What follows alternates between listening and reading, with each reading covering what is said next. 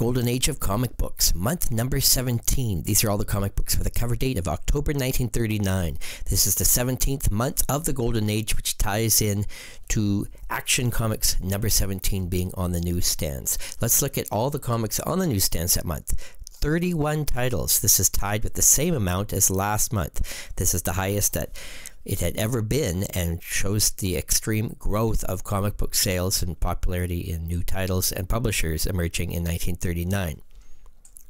Let's analyze what was on the newsstands that month. By far the most historically important book of the month is Marvel Comics number one. It is the first comic from Timely Comics ever published. The company would later change their name to Marvel Comics, named after this very first comic they released. It features the Human Torch and the Submariner. Very key book. And it is by far the most valuable book of the month on the newsstands. We can see the Overstreet Price Guide lists a low grade copy at $26,000 and a high grade at $575,000. So this book alone represents about two thirds of all the value of all the books combined released that month. Also out this month is Speed Comics number one. It's from another new publisher, Brookwood Comics. And they would release only the first 11 issues before Harvey Comics, another new publisher, would take over the title. And this is a historic book as well, but much scarcer and much cheaper in general, but still has a pretty good hefty price tag $389 for a low grade copy of this number one issue.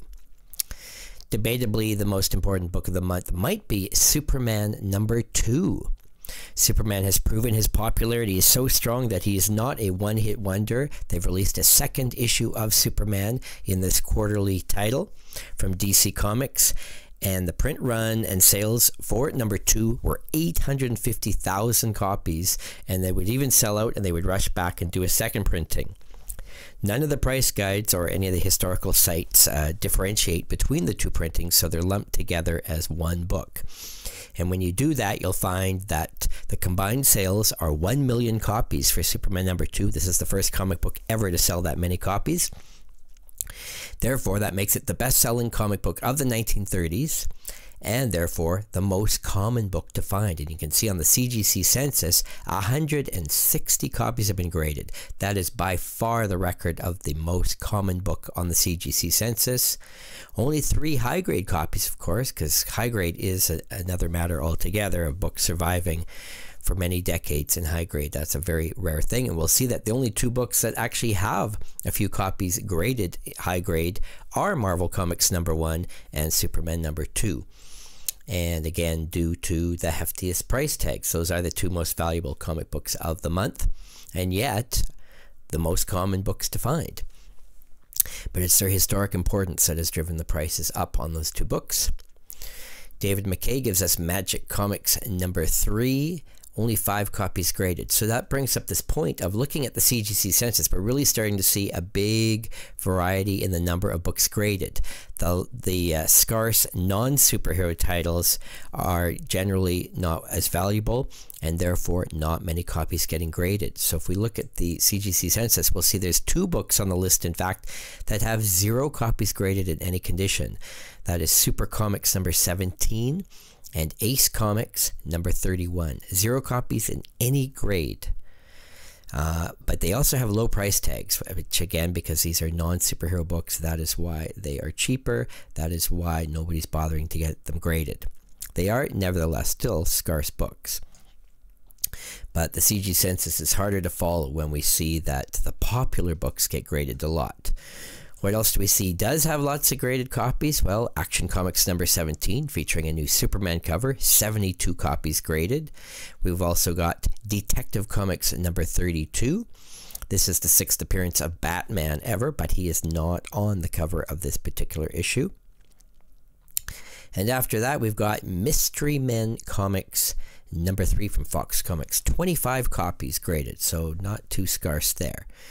Uh, if we look at what books seem to be truly scarce, well, as I say, there are lots of books that only have a few copies graded, but usually we got to look for key books, superhero books, or you know anything of historical importance to see if there's anything that truly stands out as being rarer. So if we take that point of view and we look at what seems to truly be scarce, Well, we've got All American Comics number seven from DC. Only four copies graded. It's not a major key book, but nevertheless, that's that's a pretty low CGC census rating for that book. Some of the Centaur books are all under 10 copies graded. That's pretty scarce. What else do we notice on the chart? There's still a ton of books on the list that have zero high grade copies. Again, these are 1930s books. They just simply have not survived.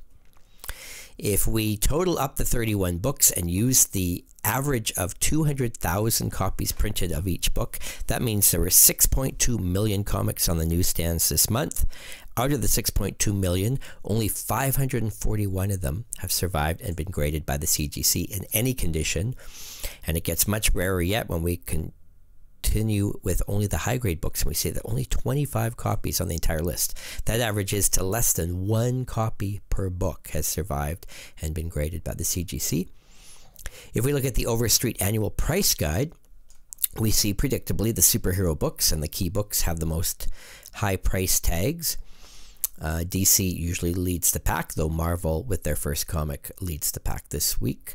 Um, if we look at the cheap end, Ace Comics number 31 is by far the cheapest book on the entire list. Only $22 for this 80 year old comic, and only $300 in high grade.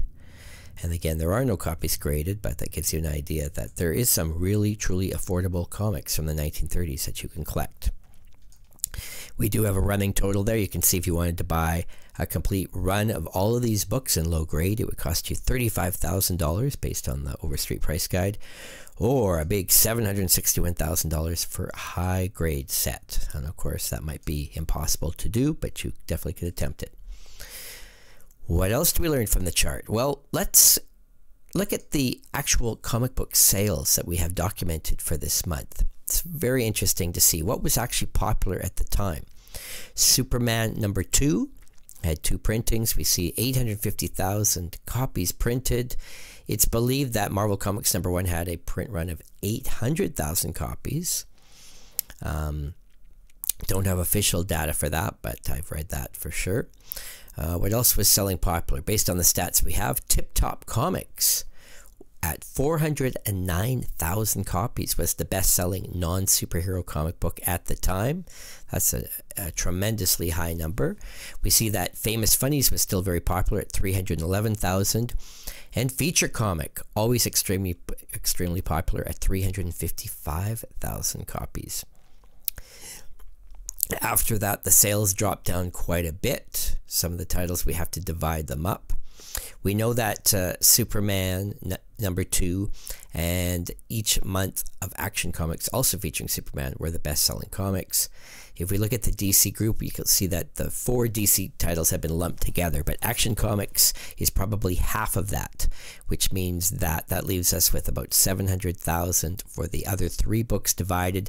So that means Detective Comics featuring Batman was probably selling roughly 240,000 copies at this point in his early issues. The Dell titles are selling at roughly 200,000 each. The Fox titles are selling roughly 230,000 each in these early superhero books. The Western titles are selling approximately 190,000 each. We don't have any documentation for the books that are not listed on this particular list. Comics on Parade, 197,000. So you can see that it's very consistent that sort of the majority of the titles are in the close to the 200,000 range at this point, and only it's really just the Superman related titles that are way ahead.